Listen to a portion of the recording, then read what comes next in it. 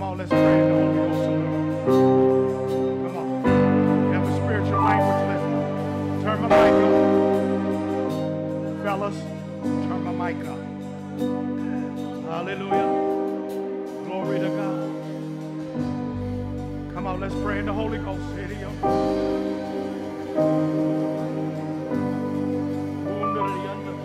Thank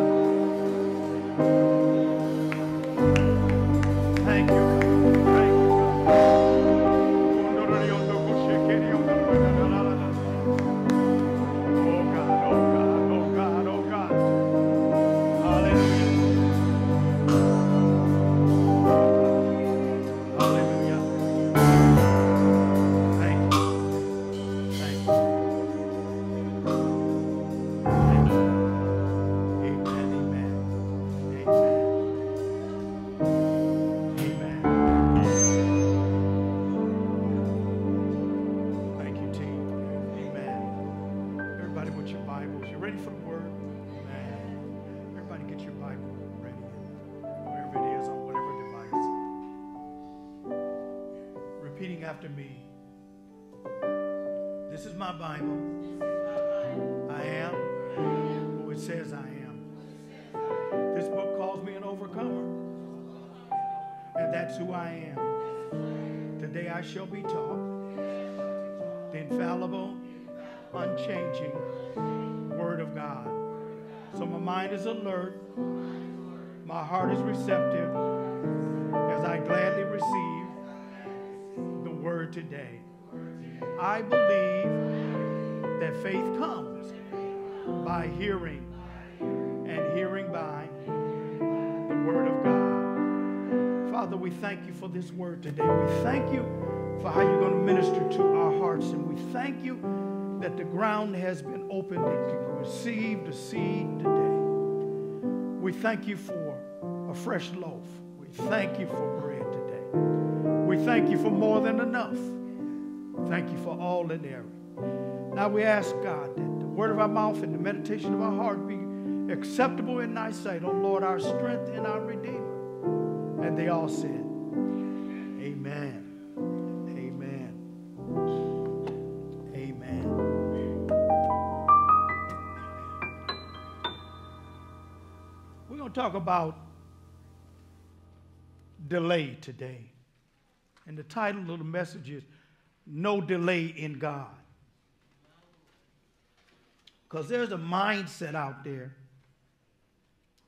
that always mentions God delayed. God delayed. God delayed. God delayed. But every time I look into Scripture, there, there is no delay in God. There's no delay in God. There is no delay in God. And so I'm going to move fastly right into the Scripture and, and, and I'm going to give it to you in the New King James Version and then the Message Bible. And the New King James Version of 2 Peter 3 8 through 9, 2 Peter 3 8 through 9.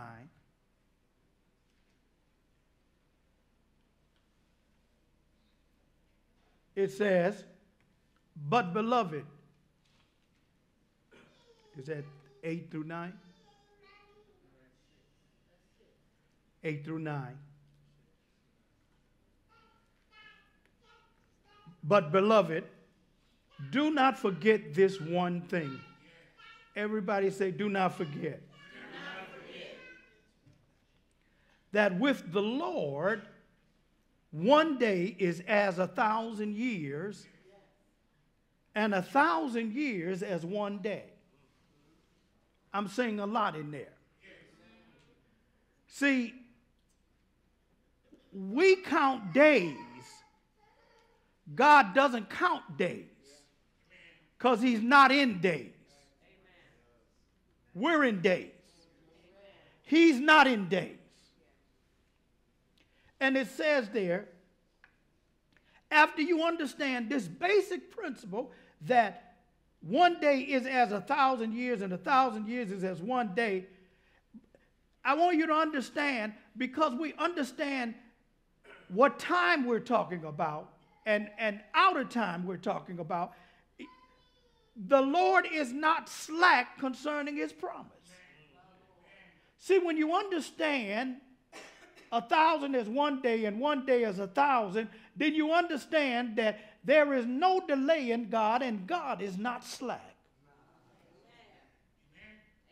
Amen. Hang with me, we're going somewhere. God is not slack concerning his promises, as some count slackness. We delay. We push stuff off. But he doesn't. God cannot lie. This carpet is burgundy. If he if he says it's blue, all of a sudden it's going to turn blue. What shade, I don't know, but it's going to turn blue because he can't lie. Because he said the carpet's blue. Do you understand that? Now, as some count slackness, but is long suffering toward us, not willing that any should perish, but that all should come to what? But that all should come to repentance. He's long suffering. So his delay can be construed as long suffering, but it's not a delay. He's just choosing not to operate in a certain place at a certain time. Somebody else say, Thank you, Jesus. 2 Peter 3 8 through 9 in the message. And it says this Don't overlook the obvious here, friends. With God, one day is as good as a thousand years, and a thousand years as one day, as a day. God isn't late with his promise as some measure lateness. Say that with me. God isn't late. How many have felt that he, oh, he, oh, God, I need for you to show up right now. You're a little late, aren't you, God? No, no, you won't admit it in here. But you charge him with being late. I need you. Now. And what you're telling God is, I need you in my time. I need you to do it when I want you to do it. And when is that? But maybe if now ain't his word. Ooh, and that's where the frustration comes in. At. And when you say, God delayed, he didn't delay nothing. He chose not to. Because he God. He doesn't have to move for you. But you can help him move by staying faithful. Because there's something about being faithful that helps you receive when God shows up. All right, y'all, y'all still out there? He is restraining himself on account of you. Thank you, Jesus. Holding back the end because he doesn't want anyone lost. He's giving everyone space and time to change. He's giving everyone space and time to change. Are you out there? Why you want him to hurry up, you should be glad he's giving me space and time to change.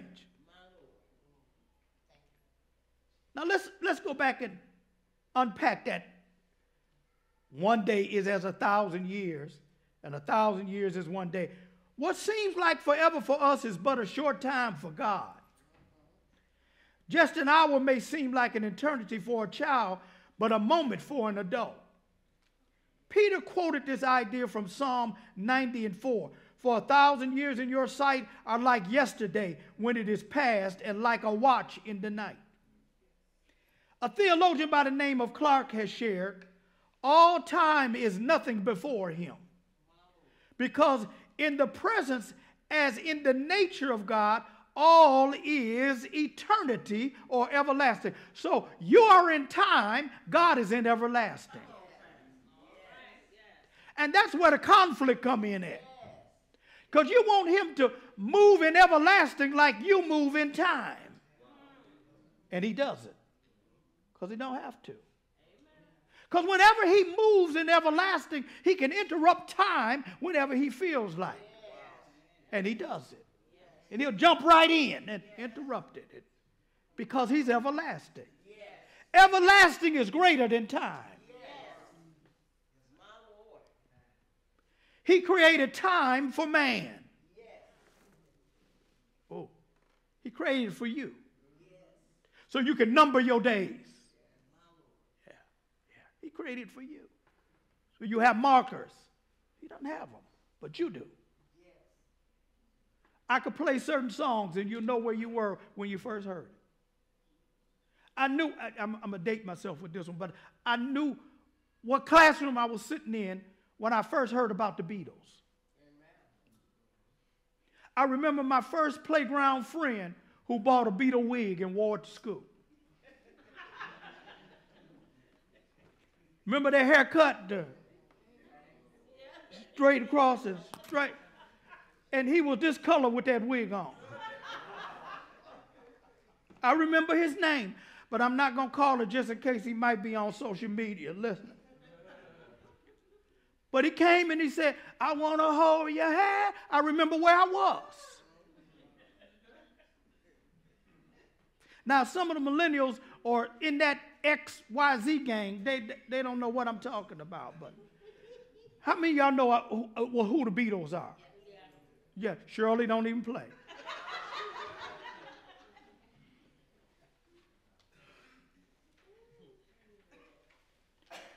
With God, all things are equally near and present to his view. The distance of a thousand years before the occurrence of an event is no more to him than would be a day or a second or a minute. With it, God indeed, there is neither past nor future, it is only the present. And in his present, he looks at everything behind and in front. He looks at everything all, all the way around. He is just present with him. You might have been languishing with your illness for years, but it's still in God's presence.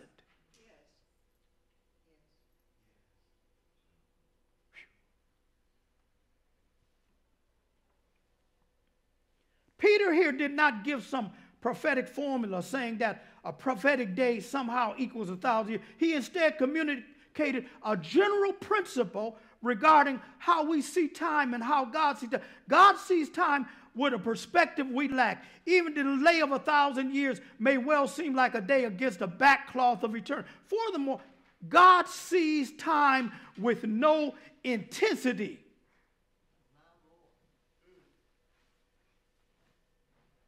God does not delay. He does not delay. You want him to come quicker, but he does not delay. How do I know that? I was, I was studying, I had written the message, and I said, I said, let me go back to some places where it would seem like there was a delay, but it's not. Because God doesn't delay. These are the miracles of Jesus. Matthew 8, 5 through 13, just, just note them. The Roman centurion servant was paralyzed for some time. Jesus spoke a word and he was healed.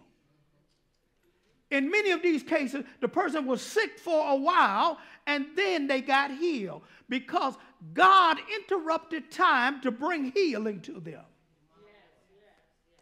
And when you get your healing, God will interrupt it at whatever point. Thank you, Jesus. You might have been haggling with it for years, but he's going to interrupt it to bring healing to you. Somebody holler, interrupt God. Luke 7 11 through 18. Death is not God's delay.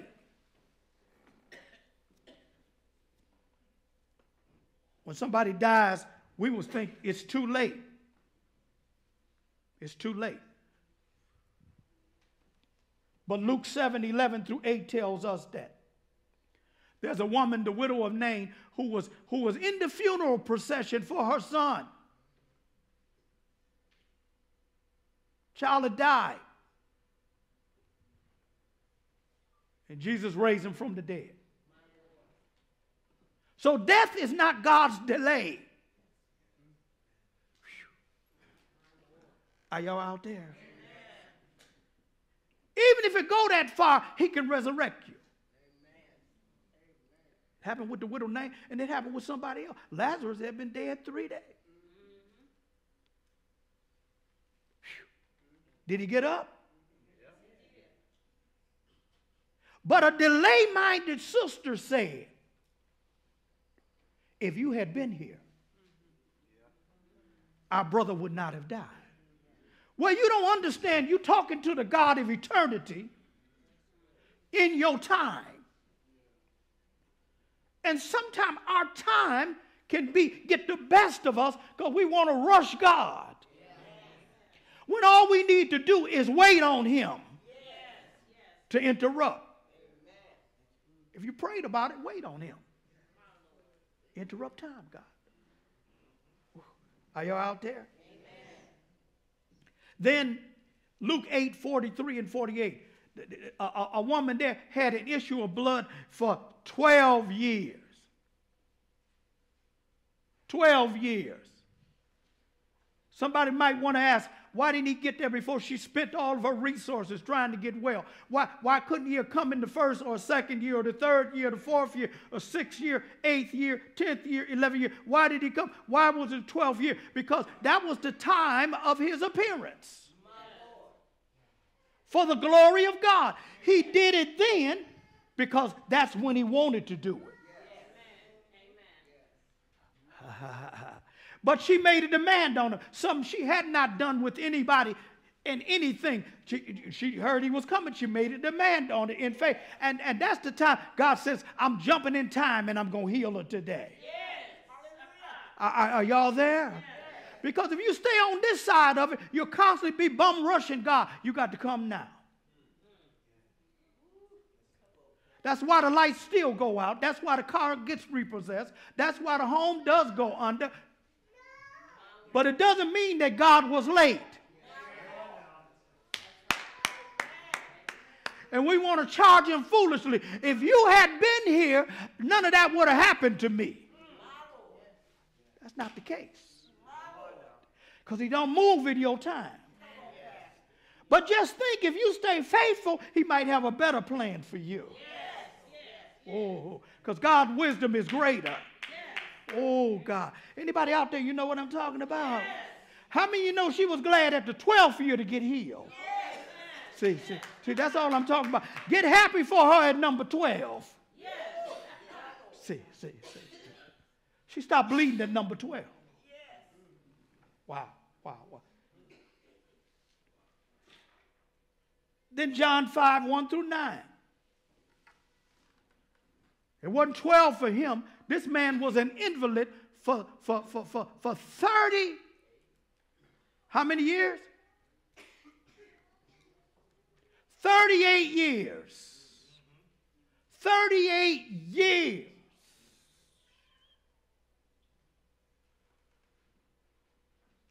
And he would go wait by a pool once a year for one angel to show up and trouble the water. And people think it was a godly angel. It wasn't a godly angel because everywhere Jesus went, the Bible says he healed them all. He wouldn't send one angel for one person. Are y'all out there? Say, say, you need to get there when the angel show up. It might be the wrong angel. Remember, Satan is an angel. He's a fallen angel. And so, so this man, 38 38 years. 38 years. I don't have anybody to put me in. Maybe you don't need to get in. Maybe what you need is a touch. So here comes what would look like a delay. God, you let them stay that way 38. No, no, no, no. That's in our timing. And that's when we want to fault God. This, this, God, this could have been better had you shown up a little earlier. Anybody ever said that? We want God to show up earlier. Why do we want him to show up earlier? To relieve the pain. Get us out of trouble faster.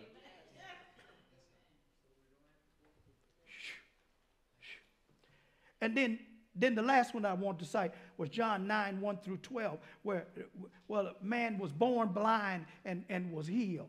But all the religious folks say, who sinned in his life, his mother or his father? But he was blind from birth. He was blind. And so, so, but Jesus healed him. He interrupted time to bring healing to him. There's no delay in God. Ezekiel 33 and 11 says, As I live, says the Lord God, I have no pleasure in the flesh of the wicked, but that the wicked turn from his way and live. In other words, God's did God's not moving as fast could be the opportunity we need to get it together. Yes. What if Jesus came back before you got saved?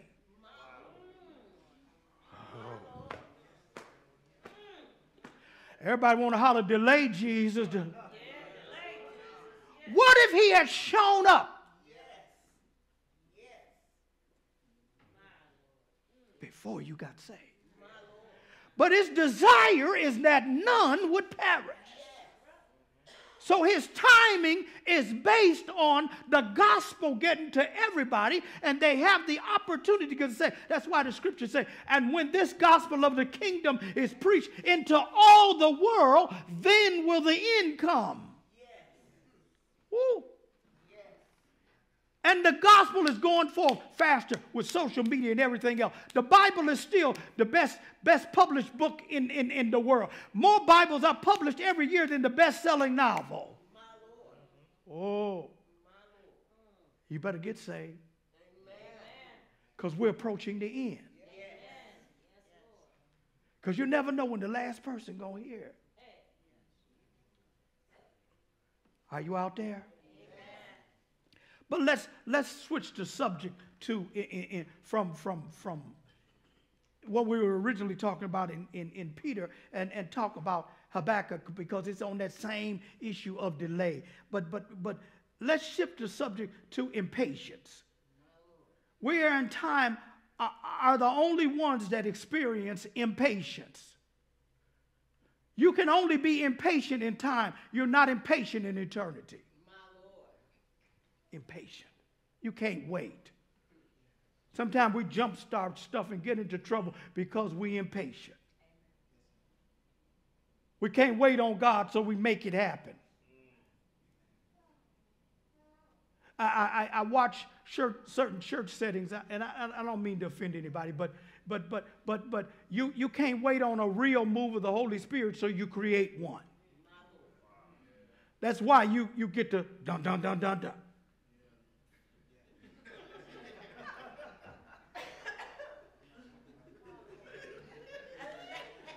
And they don't feel he showed up until you dun dun dun dun.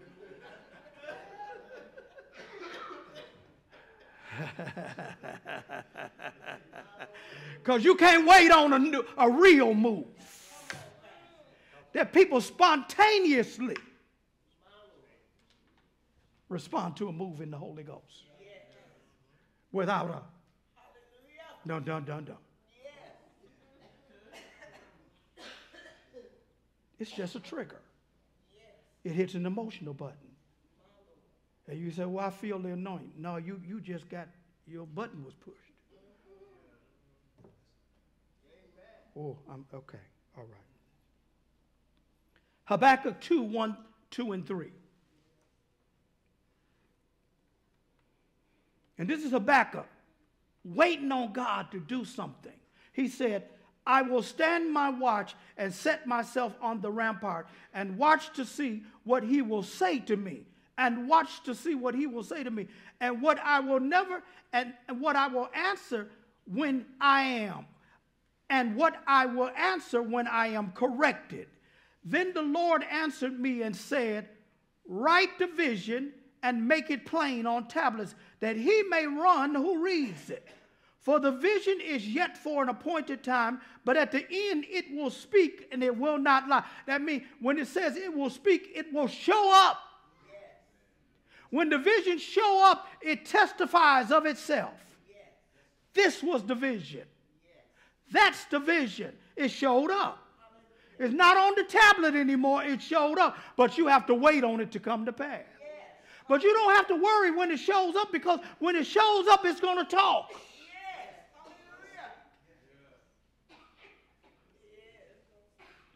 It said there, though it tarries. What tarries? The talking vision. The manifestation. Wait on it. Wait for it. Because it will surely come, it will not tarry. Our, the biggest question most parents were asked when they were on a trip with a kid with their kids going somewhere. They'd be in the car maybe a block, maybe a, a few hours, and, and they, what would they ask? Are we there yet? Now our kids are on the plane. When are we going to get there? And, and, and, and they've annoyed parents with that question. The child is excited to reach the destination, but impatient about getting there. I'm excited about going to Disneyland. When we going to get there? When am I going to get there? And maybe it's not Disneyland for you. What is it that got you excited? You couldn't wait to get there. The parent knows when they will arrive, but the children still get antsy. God knows when it's going to happen, but you still get antsy. How many of you got Nancy sometimes? Oh God, I know you're going to keep your word, but Jesus, you ran me out. I know you're going to make a way, but God, I'm ragged as I can be right now in this. God, God, if you don't come quick, well, what you going to do? What are you going to do? Die in the process? Wait on him. Habakkuk waited for deliverance. God had given him a vision of divine redemption in large boldly. Let this vision was not going according to Habakkuk's plan. Sometimes God can prophesy to you something, but it don't, don't go according to your plan. Oh God. To the point some of you have said, some of us have said, I don't want to hear one more prophetic word. I want some of them words to happen that I got already. Oh. Are y'all out there? Oh. Habakkuk was telling God, Are we there yet? Yet Habakkuk was confident that God could keep his promise. Habakkuk heard the Lord's confident answer, It will not delay. The delay, the delay was only in Habakkuk's eyes. It is only in your eyes. That's the only place there is a delay. Habakkuk was called to trust in God's timing over his own. And you are called to trust God's timing more than your own. Tap somebody and say, Trust God's timing, trust God's timing. More, than your own. than your own. Oh, that's nasty, isn't it? That's na- wait. Trust his timing. Oh my God. I don't want to do that. That's rough on me. I can't handle that. Hebrews 10 37 says, For yet a little while, and he who is coming will come and will not tarry. Now the just shall live by faith. Oh God, oh God, oh God. Jesus is coming, but he's saying, in spite of that, Those who have been made righteous already, trust Him, that love Him, you trust Him to show up. You live by faith until it shows up. Because you are just, you live by faith. Oh, God, God. Because you are just, you live it by faith. You, I, hey, hey, I, I'm, uh, uh, uh, I, I, I, you know, I'm going to wait on God. How many does that frustrate you when somebody says, just wait? Just wait. How many of you frustrated in the wait right now? Oh, God. I, I see him. Come on. Come on. Admit it. Admit it. I, I'm frustrated in the wait. Well, slap God if you that man. Uh-huh.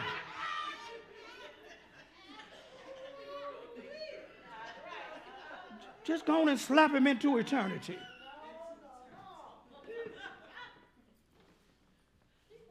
Go on, hit him. Get mad, pitch a fit.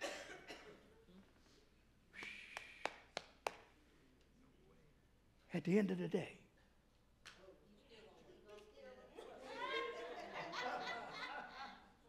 how many of you are just? So if you're just, you live by what? That what God says, He will bring to pass. Are y'all, are y'all out there? Abraham believed by faith, even though a lot of the things God said to him, he didn't see. But it was accounted to him for righteousness because he was justified by believing. I believe you because you said it. So that means I'm taking all responsibility off of, off of me with you, God, trying to make you do something. It's all on you, God. I trust you. And if, it's, if it don't happen as soon as I wanted to, I still trust you. Oh, oh, oh, that's a mess today. Because cause that's where we get tore up at in the wait.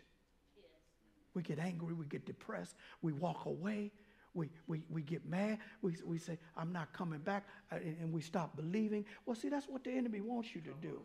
He wants you to stay locked into time and not move into eternity. And know that the God you serve is eternal and, and, and he cannot lie. And, and he has a destiny for you that he can bring to pass when he wants to bring to pass. That's why sometimes we even uh, do, do, do wrong, we make wrong decisions because we can't wait.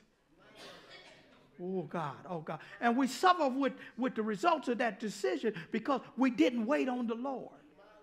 Oh God, God, all of us have been there. We made a decision, and, and, and, and, and it shows up once a month to us, that decision, you know. We're paying on it, didn't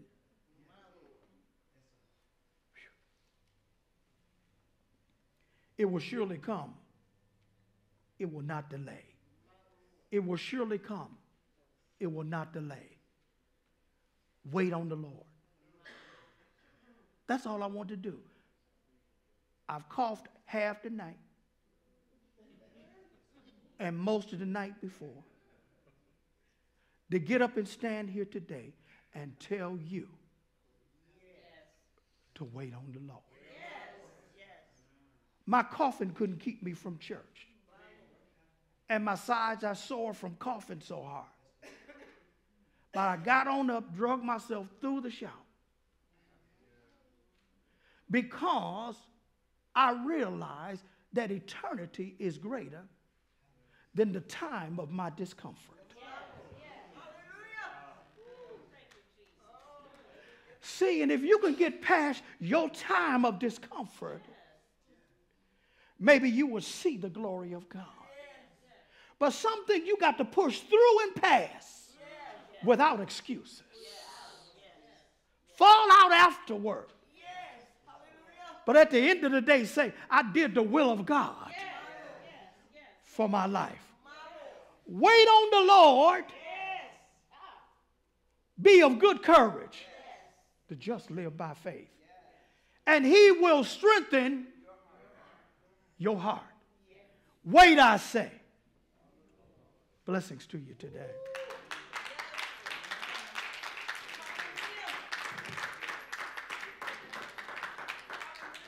My God. Put your hand up and say, I'm going to wait, God. I'm the just, and I live by faith, and I'm going to wait. And so I rebuke frustration. I rebuke anxiousness. I rebuke all of those things that want to make me run ahead of you. And I'm going to wait on you. Because in the end, what you have for me will testify to me and not lie. Give God a praise in this room. It will testify to me and not lie.